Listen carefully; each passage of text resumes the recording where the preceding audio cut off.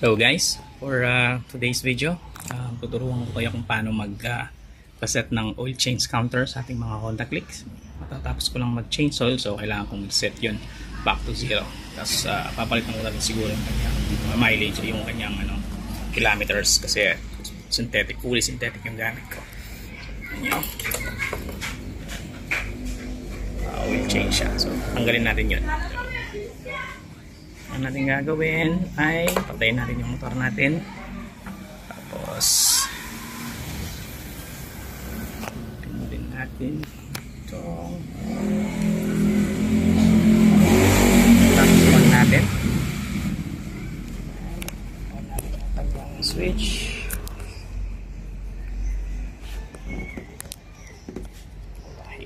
Video ng isang kamay lang. Alright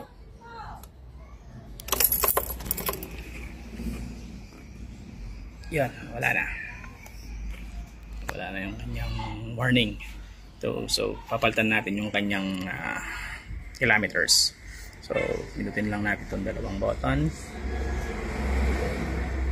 Right, mag-blink yung hour yung kanyang clock pinutin natin yung right button. Blink yung hour then yung minutes tapos oil change na So, 2,500. Since fully synthetic yung gamit ko, gagawin natin 6,000.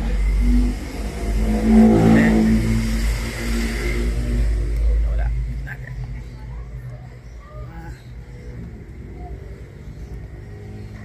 Tapos, hour, minutes, oil change.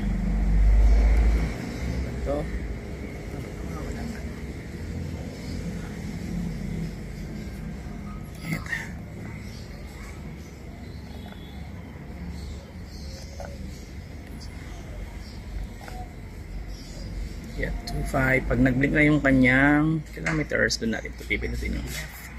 So, magiging 3,000, 3,500, 4,500, 5,000, 5,500. So, na 6,000 siya. Maximum. So, gagawin natin ay 6,000.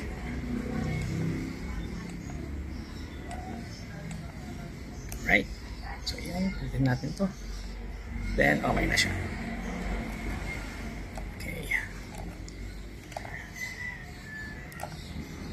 Yan. Okay na siya. Ganun lang po kasimple kadili. Kung nagustuhan nyo yung video, uh, pag-like and uh, share na rin. Tapos pag-subscribe na rin sa ating munting channel. Have a great day. Bye!